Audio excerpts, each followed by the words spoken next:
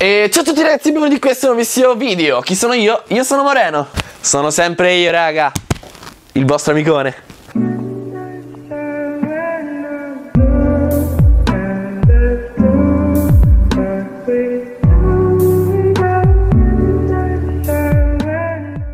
Oggi parleremo di sesso orale e malattie sessualmente trasmissibili. Prima di iniziare ragazzi lasciate like, commentate e condividete questo video il sesso orale non viene associato a malattie sessualmente trasmissibili ragazzi Ma in realtà è una fonte primaria. E ovviamente noi andremo a approfondire questo argomento. Praticando sesso orale non protetto potrebbero essere trasmesse malattie sessuali. Iniziamo con la fellatio, ovvero la simulazione del pene attraverso la bocca.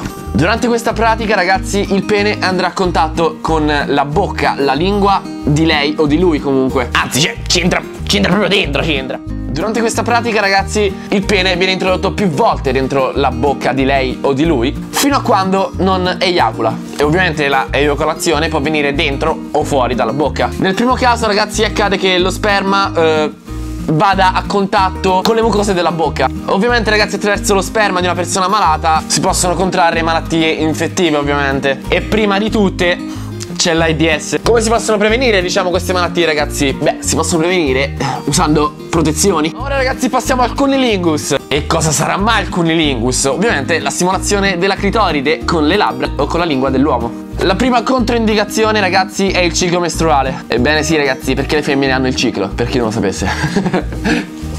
Sono un cretino.